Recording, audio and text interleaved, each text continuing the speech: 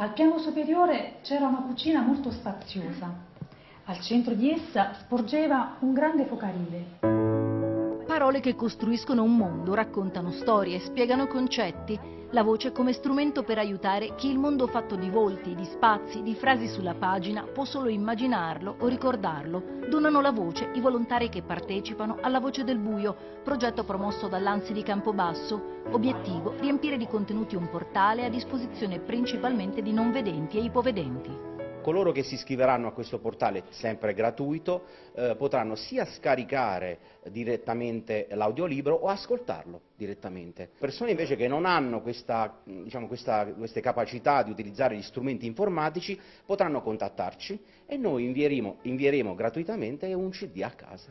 Per chi non vede? Vuol dire proprio vivere quelle, quelle sensazioni quelle emozioni che vengono descritte, perché sì è vero esistono le sintesi vocali che per quanto eh, le rendano espressive non è la stessa cosa che sentire invece leggere un libro da una voce umana. Riesci veramente a vivere tutto, la, la commozione, la rabbia, qualsiasi emozione. Diventare donatore è semplice e non è necessaria l'esperienza. Eh, li seguirò e li, li, accompagnerò affinché loro possano diventare degli ottimi eh, descrittori, degli ottimi lettori. Per trasmettere le stesse sensazioni solo col tono della voce, utilizza i numeri per leggere quella frase.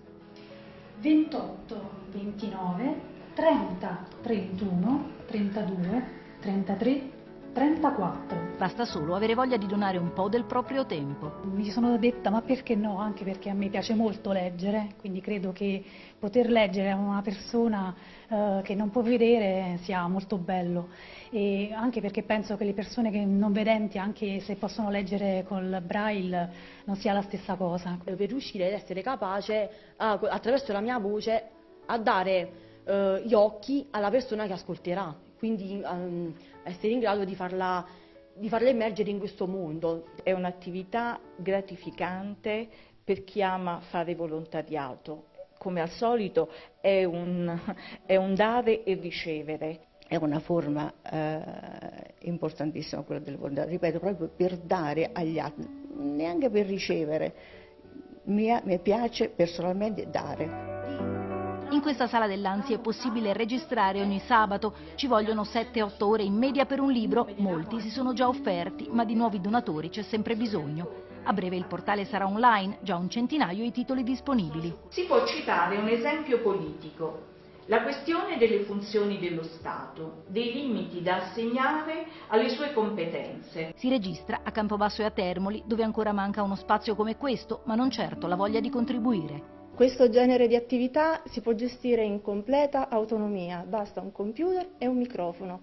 C'è chi mi ha detto registrerò di notte, c'è chi mi ha detto prima di andare a prendere i bambini a scuola, si può gestire in totale autonomia.